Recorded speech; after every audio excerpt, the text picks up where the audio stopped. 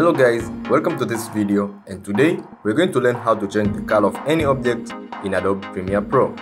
At the end of this video, we'll see how to apply cinematic LUTs to produce an epic video. Be sure to subscribe if you are new to this channel and turn on the notifications bell to get notified whenever we have a new upload. The first thing you have to do is open Adobe Premiere Pro and drag your footage to the timeline. Adjust the playback head to a good position to access your editing target.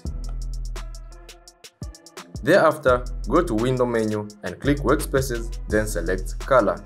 On the Lumetri Color panel, select HSL Secondary. Here, H is Hue, S is Saturation, and L is Luminance, which means lighting. Select the color picker and point to the color that you want to change. Click on the checkbox for color gray so that we can mask the selected object properly. Now, click the color picker and select more on your targeted color to cover the whole area.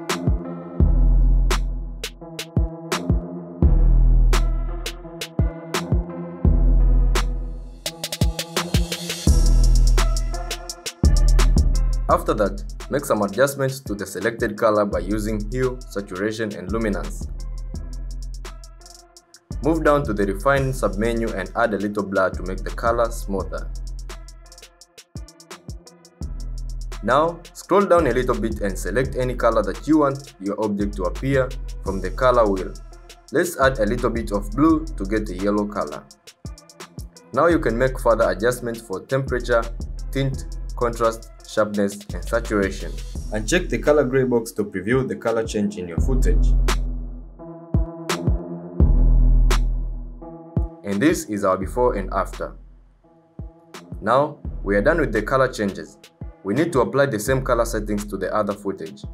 Right click on the edited footage and click copy. Right click on the other footage and click paste attributes. From the dialog, uncheck other attributes and check on Lumetri color only. Now, we have a uniform color change on both footages. Finally, we will apply a preset that will make our footage cinematic and epic. On the Lumetri color panel, click on basic corrections, go to LUTs and click browse to choose the directory of your preset.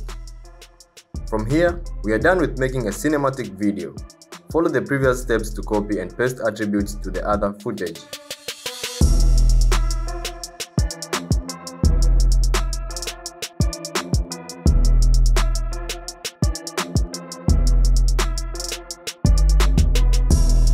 Let's see the preview.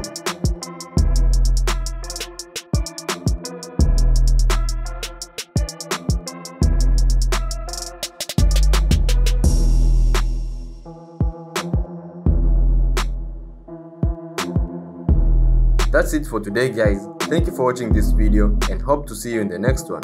Be 100% creative.